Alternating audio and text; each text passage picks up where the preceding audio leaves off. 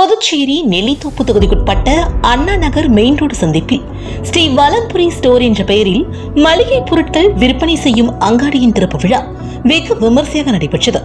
இதில் தொகுதியின் பாஜக சட்டமன்ற உறுப்பினர் ரிச்சர்ட்ஸ் ஜான்குமார் மற்றும் அவரது தந்தையும் முதல்வரின் பாராளுமன்ற செயலருமான ஜான்குமார் ஆகியோர் சிறப்பு அழைப்பாளர்களாக கலந்து கொண்டு இந்நிகழ்வில் சிறப்பித்தனர்.